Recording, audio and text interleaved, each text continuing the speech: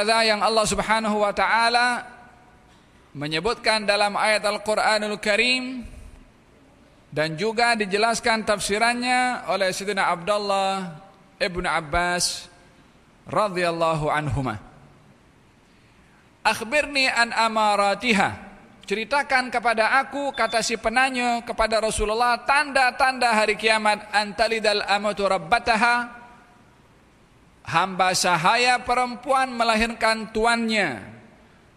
Yakni fitnah perempuan. Yang kedua antalidal amatu rabbataha berlakunya derhaka anak kepada orang tua. Karena perumpamaan yang diberikan oleh Nabi anak menjadi tuan kepada ibunya, anak menjadi tuan kepada ibunya.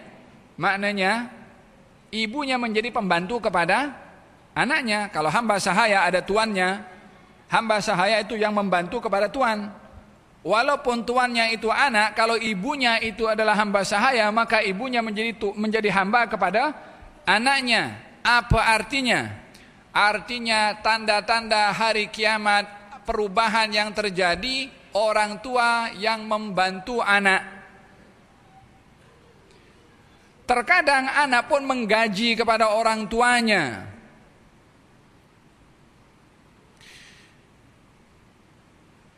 Memang di zaman kita sekarang macam-macam yang kita tengok. Orang tua kalau sudah selesai didik anak sampai dewasa, anak kawin, ada anak jadi cucu, maka orang tua jaga cucu.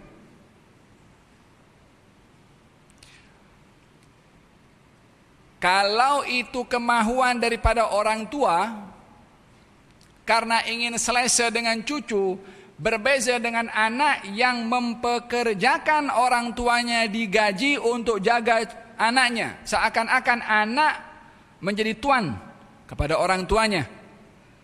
Hati-hati daripada mempekerjakan orang tua supaya tidak berlaku apa yang disabdakan oleh Nabi antalidal amatu rabbataha. Orang tua adalah orang kita sanjung. Orang tua adalah yang kita layan.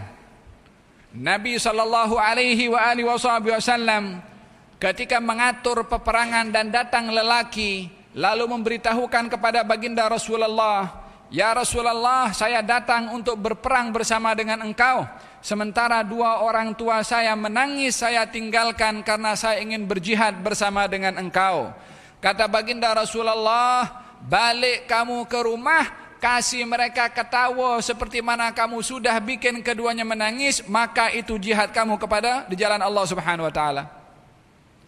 Sehingga tidak ada orang yang hadir dalam jihad bersama dengan Rasulullah kecuali di soal orang tuamu ada yang kasih izin atau tak kasih izin.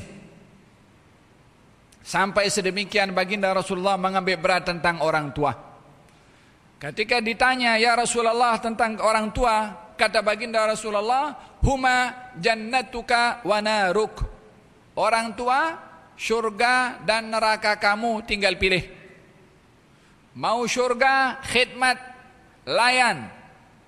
Mau neraka, lawan. Demikian baginda Rasulullah meletakkan tentang kedudukan orang tua. Dan di hari akhir zaman, yang berlaku adalah terbalik.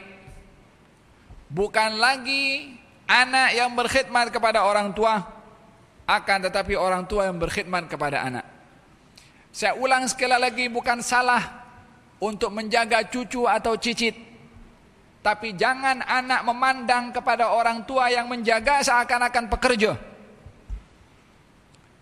Cari orang lain untuk bekerja. Biarkan anak atau cucu happy main dengan orang tua atau apa. Supaya kita tidak termasuk daripada menjadi tuan kepada orang tua kita. Antalidal amatu rabbataha.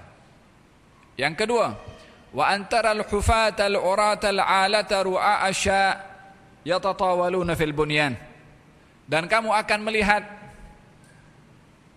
orang miskin yang berjalan tak memakai selipar. Yang pakaiannya tidak kemas dalam menutup aurat. Mereka juga pengembala kambing. Yatatawaluna fil bunyan.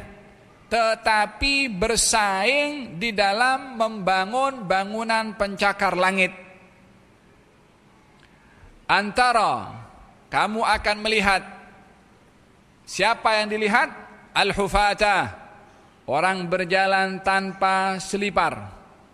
Apa maksud orang berjalan tanpa selipar? Ya, ini orang miskin. Orang yang susah selipar pun tak ada antara al-hufata, al-urata. Al-ura orang yang telanjang, maksudnya menutup aurat tapi tak cukup kain atau kainnya pun tak sempurna. Miskin juga. Al-alata, al-alah orang yang dia hidupnya bergantung kepada orang lain, memerlukan kepada orang lain, miskin juga. Ru'a asya pekerjaannya mengembala kambing, yakni mereka hanya punya kerjaan yang cukup simpel tapi ya tatawalunu fil bunyan saling bersaing di dalam meninggi-ninggikan bangunan pencakar langit tiada bangunan tertinggi daripada pencakar langit kecuali akan ada orang lain yang ingin membangun lebih daripada yang sudah sedia ada